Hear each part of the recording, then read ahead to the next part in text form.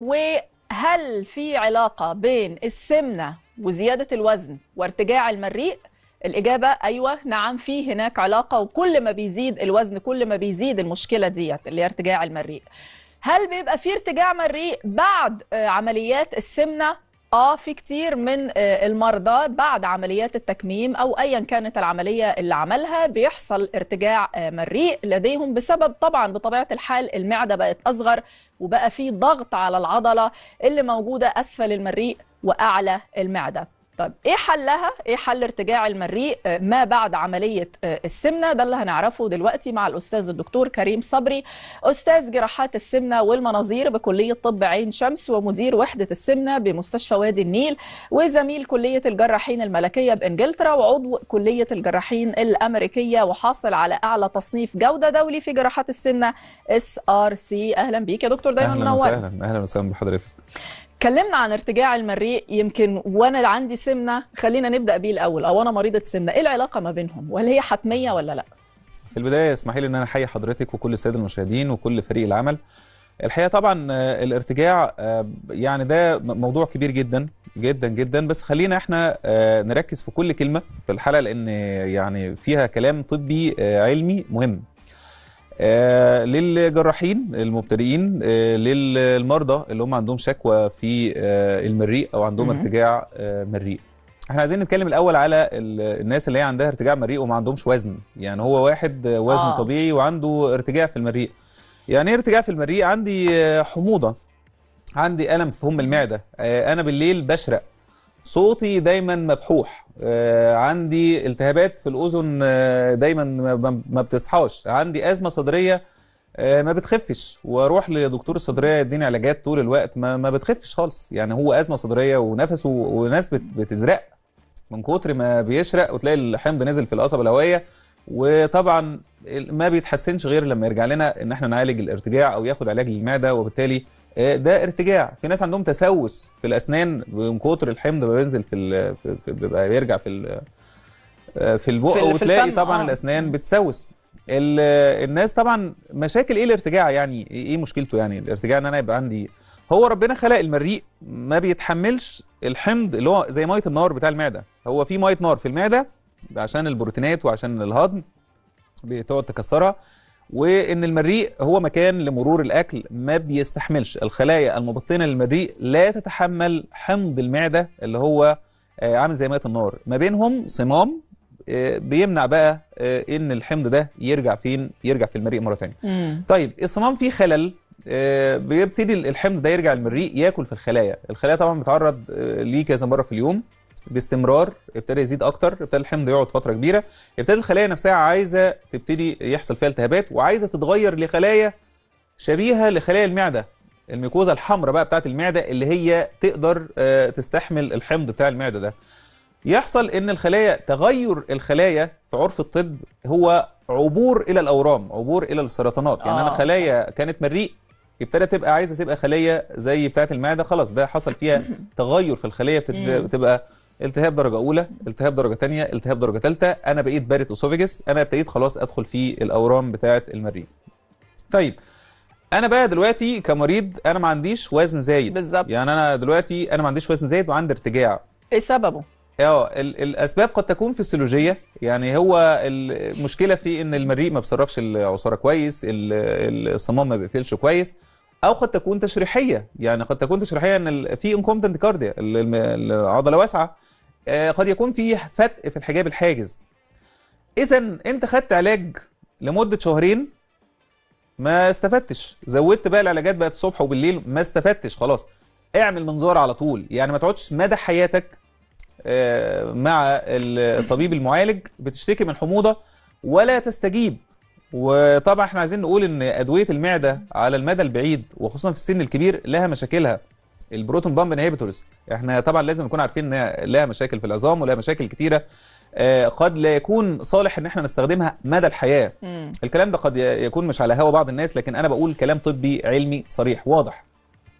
يبقى اذا أنا دلوقتي آه، لو عندي فتق في الحجاب الحاجز وعندي ارتجاع طب أنا يعني آه، هاخد علاج ده؟ هيصلح التشريح بتاع المعدة؟ مش هصلحه. يبقى اذا أنا محتاج أعمل منظار أتشخص وأعمل عملية عشان أمنع الارتجاع ده. العمليات اللي بتتعمل عشان بس نركز في الكلام ده العمليات اللي بتتعمل في الناس اللي هم وزنهم مش كبير مختلفة عن العمليات اللي بتتعمل للارتجاع في الناس اللي عندهم سمنة مفرطة مم. أنا دلوقتي ما زلت بتكلم على الناس اللي وزنها رفيع رفيع. ما عندهمش. وزن زايد وعايز يعمل عملية تمنع الارتجاع الغير مستجيب للعلاجات اعمل منظار معدة تشخيصي هيشخصك مظبوط يقول لك والله انت عندك التهاب درجة كام عندك فتق في الحجاب الحاجز عندك عضلة واسعة وبالتالي العمليات اللي بتتعمل دي هي نوعية مختلفة. عمليات زي النيسن والتوبي وال- والدور ريبير. إحنا بنعمل إيه؟ بننزل المريء في مكانه لو هو طالع من مكانه بنضيق العضلة وبنقوي الصمام بجزء من قبة المعدة نلفها حواليه. قبل ما تعمل عملية الارتجاع عشان تمنع الارتجاع لابد من إن أنت تعمل حاجتين في منتهى الأهمية. لازم منظار معدة عشان يشخص لك جوه أنت محتاج إيه؟ نمرة اتنين لابد من قياس حركية المريء. وفي مكان آمن محترف يعرف يقرأ حركية المريء اللي هو. ال manometry. لأن أنت كل العمليات اللي إحنا بنعملها لمنع الارتجاع وعلاج الارتجاع هي عمليات تضييق للعضلة وزيادة ضغط الصمام من جوه من تحت. أنا بقى لو المريء بتاعي ما بيتحركش كويس جدا يبقى اذا أنا أعمل انسداد. هتلاقي طول الوقت اللي عمل عملية نيسن وما كانش عامل آه، manometry أو عاي أو عاي أو قاري قد إيه المريء بيتحرك أو عنده مشكلة في الحركة ولا لأ. هو ده ده يقعد في حياته. بعدين أنت ما قفلت له ال- الصمام كويس وعملت ال- ال- العملية الجميلة هتلاقي العيان قاعد يرجع مدى الحياة. قياس حركيه المريء في منتهى الأهمية في مكان آمن عند اللي بيقرأ حركات المريء لازم يكون عنده ال ال ال طبعا الكفاءة ويكون الجهاز برضو متطور شوية يعرف يطلع نتائج كويسة.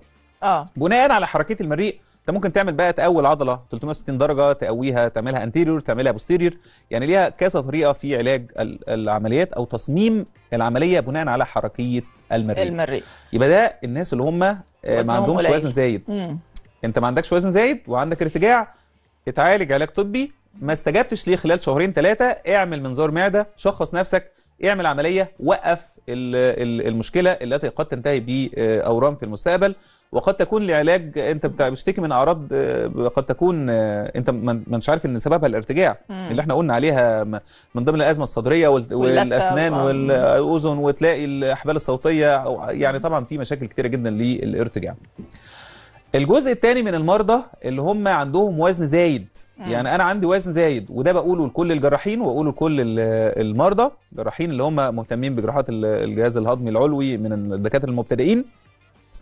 انت دلوقتي لو عندك آه، عيان جاي لك كتلة جسمه عالية وعنده ارتجاع شديد في المريء ما تروحش تعمل نيسن وتعمل حاجات لعلاج الارتجاع اللي هي في الأوزان القليلة اعمل عمليات سمنة بقى زي تحويل مسار المعدة آه. الكلاسيكي مم. يعني أنا دلوقتي العيان جاي لي بيشتكي من آه، من من حموضة وعايز يعمل عملية للحموضة وهو وزنه زايد أقوم أقول له اعمل عملية تحويل مسار المعدة الكلاسيكي وأنا راجل مش مهتم بجراحات السمنة أيوه ما أنت ما أنتش عايز تعملها حولها بقى لحد متخصص في جراحات السمنة يعمل له عملية للارتجاع. وهي عملية واحدة بس هي عملية تحويل مسار المعدة الكلاسيكي.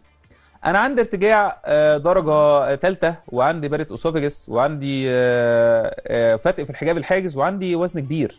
مم. ما هو أنت مش هتتعالج بنفس الطريقة اللي هتعالج بيها العيان العادي لأن دي نقطة لازم تكون كلير ولازم تكون واضحة جدا قدام المرضى وقدام برضو اللي هيعالج المريض ده إن عمليات السمنة المفرطة زي تحويل مسار الكلاسيكي هي علاج للارتجاع في الناس اللي وزنهم عالي يبقى اذا طيب أنا بقى مش عايز أعمل عمليات سمنة وأنا وزني عالي.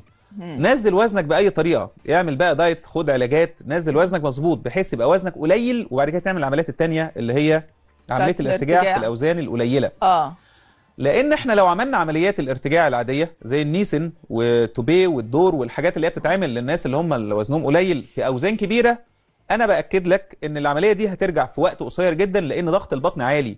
هو أنت بتاخد غرز يعني بتضايق بيها عضلة المريء؟ غرز مركب فيها جهاز يعني ولا مركب حديد في. لا خالص ده العضلة أصلا ضعيفة. وأنت بتحط غرز على أنسجة. وبالتالي ضغط البطن العالي في مريض السمنة المفرطة هو عامل كبير جدا وعامل مؤثر جدا في رجوع الأعراض وقد لا تتحسن وفرصة رجوع العملية لوضعها الطبيعي أو فشلها بتبقى عالية جدا جدا جدا في مرضى السمنة. المفرطة المفرط. يبقى اذا دي نقطة لازم تكون واضحة أنا مريض سمنة مفرطة عندي ارتجاع في المريء لابد من إن أنت تجري ال- الفحوصات بقى الكامله كاملة وتعمل بقى عملية تحويل مسار المعدة.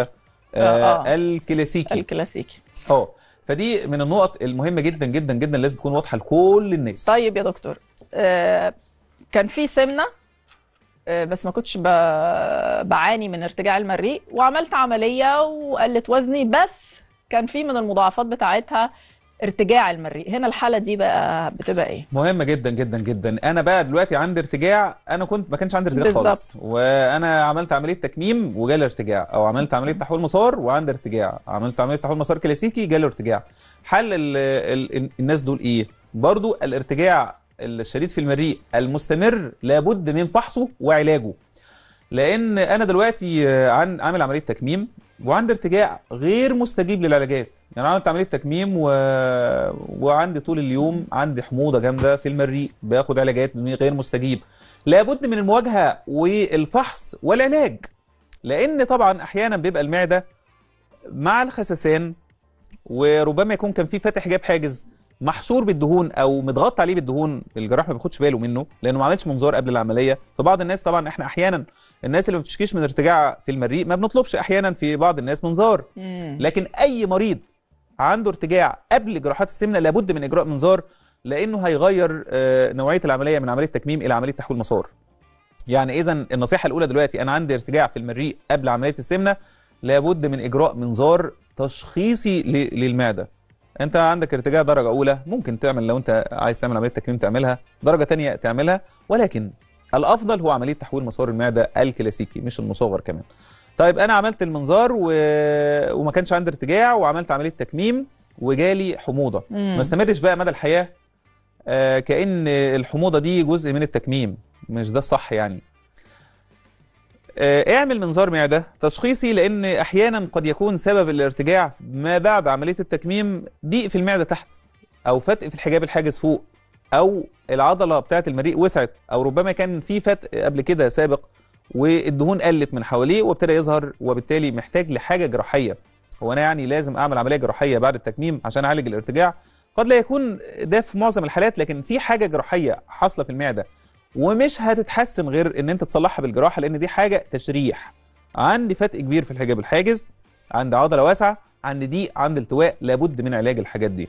بالمنظار قد يكون العلاج إن إحنا نصلح الفتق بس قد يكون العلاج إن إحنا نحولها لعملية تحويل مسار المعدة الكلاسيكي قد يكون إن إحنا آه، نمشي تحفظي ولكن لابد من المواجهة ما بعد عملية تكميم المعدة. عملية تحويل مسار المعدة المصغر آه، في بعض الناس بنسبة مش قليلة بيحصل لهم ارتجاع مراري آه، في البق. بتلاقيه. نايم بالليل وتلاقي الحمض المراري أصفر كده رجع في البق وطبعا بيضرب في في الودان وتلاقي طبعا نوع من الاختناق بيحصل بسبب إحساس مرعب بسبب الارتجاع المراري. آه، ليه علاج تحفظي؟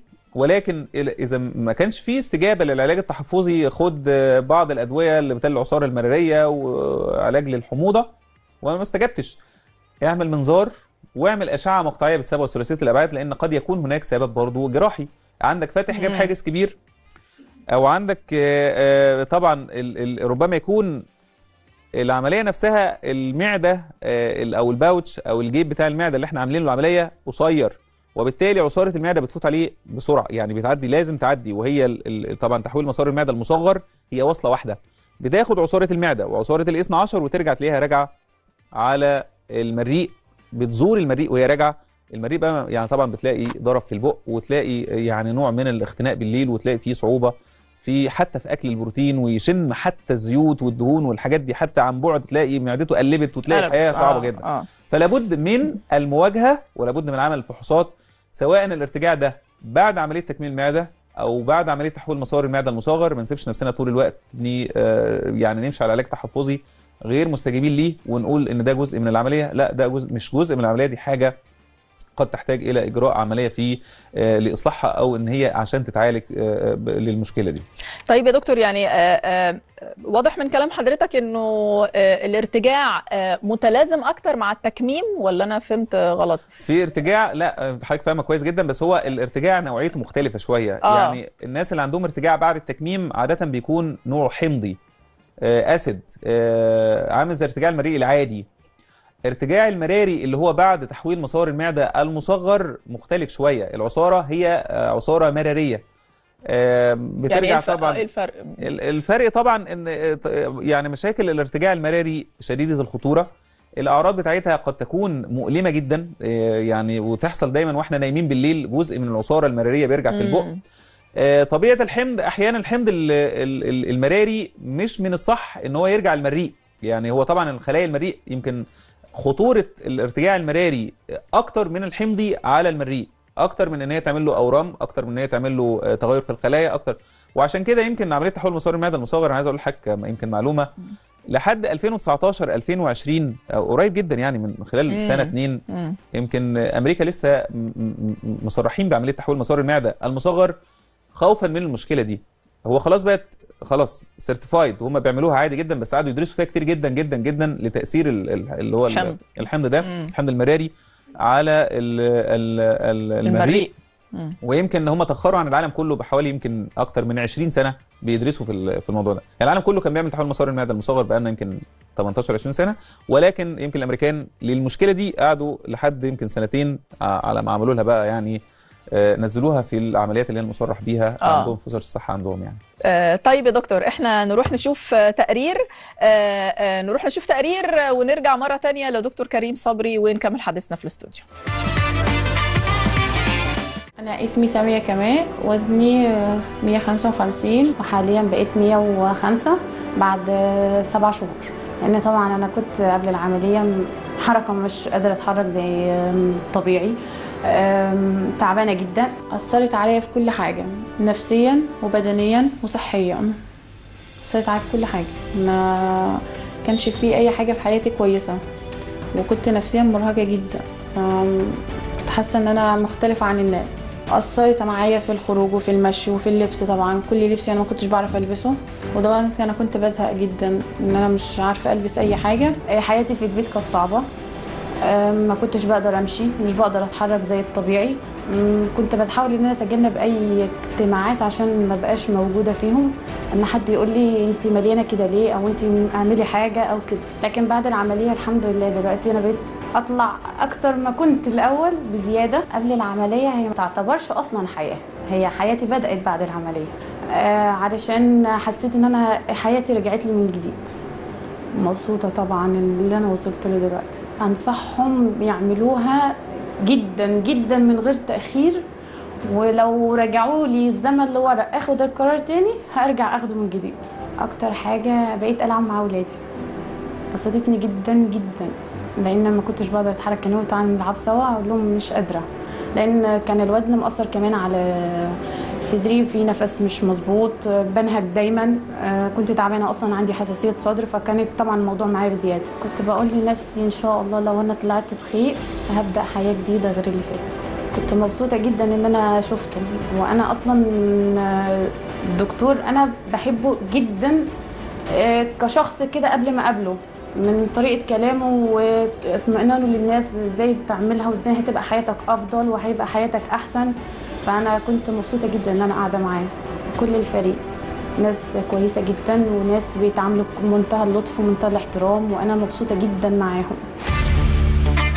لازلنا مرة آه، تانية مع دكتور كريم صبري أستاذ جراحات السمنة والمناظير بكلية طب عين شمس. ودكتور في آه، آه، سؤالين عندي يعني هل ممكن يكون ارتجاع المريء بعد العملية عرض ويروح لوحده ولا لا؟ ده أول دايما سؤال. دايما طبعا إحنا الإنسان اللي هو عمل عملية تكميم أو تحويل مسار هو زيه زي الإنسان الطبيعي العادي خالص. اللي يزود الارتجاع عند الإنسان الطبيعي يزود الارتجاع عند اللي عمل تكميم. آه وبالتالي هناك بعض الحاجات اللي هي في طريقة الأكل آه، ممكن نقللها. يعني طبيعة الأكل طبعا اللي هو السبايسي أو الأكل فيه دسم جامد وان إحنا ناكل قبل النوم بفترة قصيرة و... والتدخين آه، بعض المسكنات الشديدة. كل الحاجات طبعا بتزود الارتجاع. ويمكن الناس المستهلكه للقهوة والحاجات الكافينز اللي هي بجرعات عالية أو كمية كبيرة بتلاقي فيه حموضة جامدة. آه، قد يكون عرض لسوء آه، التغذيه أو قد يكون عرض لسوء استخدام بعض ال- المشروبات المعينة زي الحاجات اللي هي فيها بيبسي وحاجات ال... وبالتالي إحنا المشروبات الغازيه كلها لكن إحنا لو قللنا الحاجات دي وخدنا علاج بسيط جدا بتروح إذا استمرت الأعراض لابد نبحث بقى عن علاج لمشكلة قد تكون تحتاج لجراحة لأن طبعا إحنا لو عندنا ارتجاع لم يستجيب للعلاجات يبقى اذا ما نكملش بقى فترة كبيرة. افحص نفسك شوف إيه المشكلة قد تكون جراحية. يعني قصدي آه، أنا بتكلم كمان مينلي بعد العملية. هل ممكن يكون عرض ويروح لوحده؟ آه طبعا طبعا طبعا. هو زي الإنسان الطبيعي العادي. زي- آه. بتستخدم آه أكل بقى بعلاجات طريقة تغذية معينة آه لابد من تعديلها. عدلتها هتروح. ده عرض عادي خالص ممكن يروح عادي جدا بعلاجات عادية زي أي إنسان طبيعي.